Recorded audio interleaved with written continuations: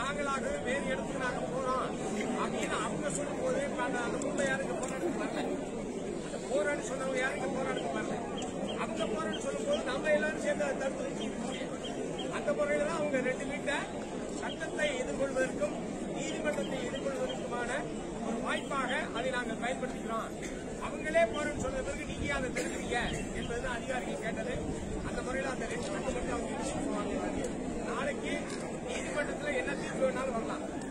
சொல்லிட்டாரு என்ன தீர்ப்பு வேணாலும் வரலாம். ஆனா நான் உங்களுக்கு தான் சொல்ல விரும்புறது எந்த தீர்ப்பு வந்தாலும் இது எங்களுடைய இடம் எங்களுடைய வீடு. நாங்கள் இங்கிருந்து போக மாட்டோம் என்பது நம்ம தீர்ப்பு. ஒரே தீர்ப்பு. இது நாங்கள் பிறந்து வளர்ந்த இடம் நாங்கள் கஷ்டப்பட்டு வீட்டை கட்டின இடம் நாங்கள் வாழ்கிற இடம் எங்களுடைய அப்பா தாத்தா வாழ்ந்த இடம்.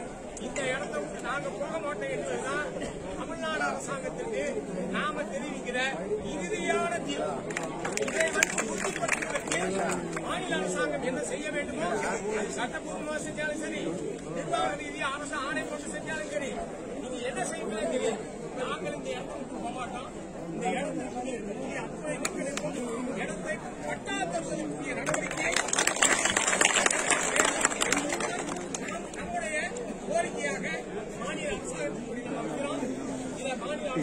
ஏற்கனவே நாம் ஒன்று வற்புறுத்திருக்கிறோம் அதற்கு உரிய முறையில் நாளைக்கு நீதிமன்றத்தில் தமிழ்நாடு அரசாங்கத்துடைய வழக்கறிஞர் வாதாட வேண்டும் நீதிபதிகள் சொல்லிட்டாங்க கண்ணப்டு வருது அது வருது இது வருது.